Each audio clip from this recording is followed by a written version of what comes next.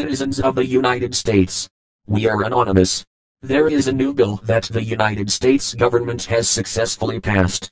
It is called the Stop Online Piracy Act, or SOPA, for short. Also known as the Protect IP Act of 2011. The U.S. Congressional Budget Office estimates that implementation of the bill would cost the federal government $47 million through 2016. It will cost you, the taxpayers, $47 million over the next four years. The SOPA Act will censor you from accessing certain websites and block all access to other areas of the internet that the United States government does not want you to access. The SOPA Act essentially means that, even if you make a video of your child playing or singing and you have music playing in the background, or video on TV, you are breaking the law, and the government will order the websites that host your content to censor your content because of their new bill. Or, if you visit websites that are on servers not in the United States you will be blocked, so that you cannot access them. Ask yourselves, who really owns the internet?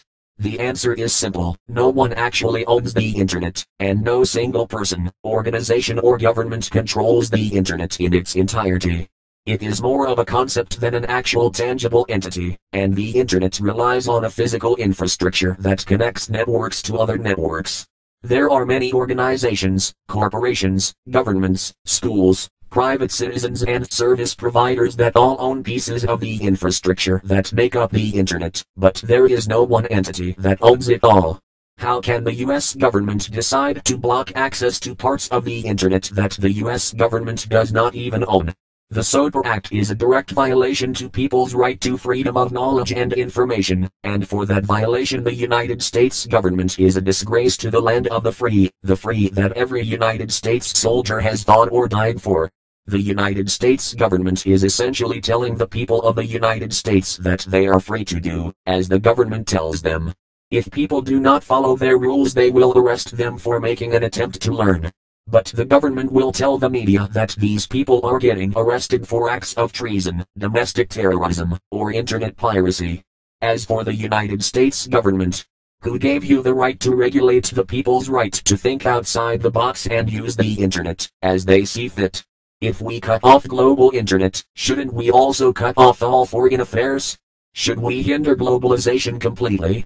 Perhaps all other world trade centers are acts of terrorism by existing, as they use the internet for commerce. The ambiguity of this bill should terrify you. This video likely will not last long on YouTube. As long as you can, download YouTube Downloader, and help us share this message. If you speak, they have to listen. If they do not listen, their blatant disregard for the people will not go unnoticed, and is not acceptable. Doing nothing is the worst thing you can do. We are anonymous. We are legion. We do not forgive. We do not forget. Expect us.